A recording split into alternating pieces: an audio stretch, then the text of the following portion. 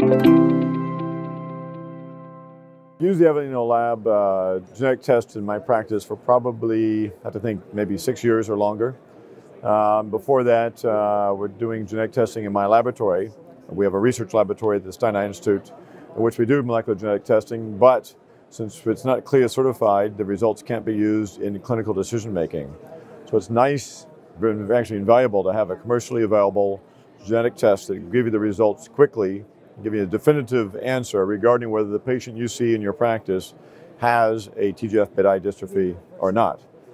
Many clinicians, I think, feel that they can make that diagnosis without the use or the need for genetic testing. I'd, I'd, say yes, many cases you can if there's a family history, classic appearance uh, at the slit lamp, etc. But I've seen a lot of patients who come in who have what looks like a TGF-beta I dystrophy, but there is no family history, or the, the onset is late. They don't have the typical features like recurrent corneal erosions or the distribution of the opacities is unusual.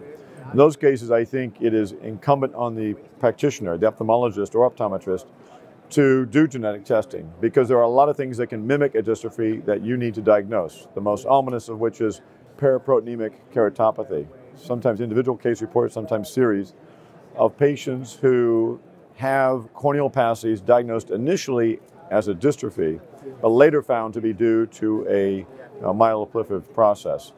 And you'd obviously want to make that diagnosis accurately and quickly. And Avellino Labs testing allows you to do that. It's been very useful as far as differentiating between dystrophic and degenerative, dystrophic and post-infectious scarring, and dystrophic and something that may be more sinister, i.e. the myeloproliferative process.